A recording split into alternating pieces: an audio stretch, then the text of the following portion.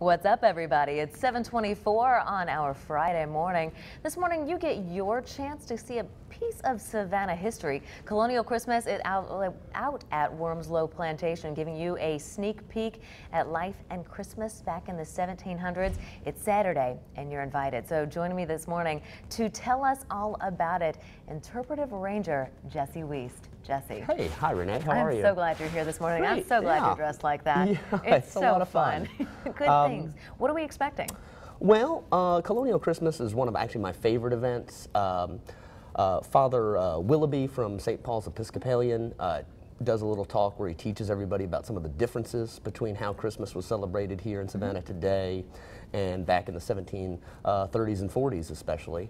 Um, a local Girl Scout troop actually comes out too. Uh, this is what makes it my favorite event is they bring cookies and apple cider. so uh, that's pretty nice. But we'll Nobody be, can be mad about that. Yeah, um, we'll be playing uh, you know colonial games mm -hmm. and uh, doing some Christmas carols, um, showing off the tradition of burning a Yule log. Yes.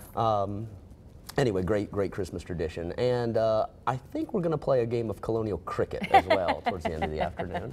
That's what I hear, which is kind of like baseball, but just not. You just need enough people yeah, out there to play and enjoy. If you like hitting a ball with a stick, then cricket is going to be a lot of fun. That's fantastic. Why? Why did Wormsloe say, you know what, for Christmas, we need to do something just a little different? Well, I think it helps us um, explain how the people who lived here back in the past, uh, well, I like to say they weren't so different than you and I today, yeah. you know, despite the clothing. um, but there were some differences, and I, I, really help. I think that doing uh, holiday celebrations like this helps us uh, explain, you know, how these people lived yeah. and uh, how they turned a, the fledgling colony of Savannah into the, the great state of Georgia today. Well, I mean, it's literally a way for us to see our history, our ancestors. I mean, these it could be exactly the way the people of Savannah were living. Oh yeah, no, absolutely. It's incredible. Um, yeah, we're going to bring you back to uh, you know Christmas morning, say downtown and maybe Johnson Square in 1734. I love it. Yeah. It is so much fun.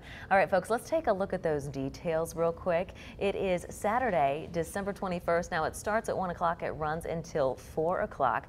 Going to be some wassailing, some caroling, some cricket, all kinds of fun stuff, a little pyrotechnics with that uh, log too. Oh yeah, yeah. we, we, we can't uh, go can't leave out the uh, fire. Uh, the oh my goodness! And you can't forget, folks, it's it's affordable. I mean, for adults, it's 10 bucks. Seniors or any military active or reservists, nine bucks. Kids 17 to 6, 450. And you know what? Kids six and under, it's only two bucks. Yeah. And actually, if I can add on to that, Renee. Please.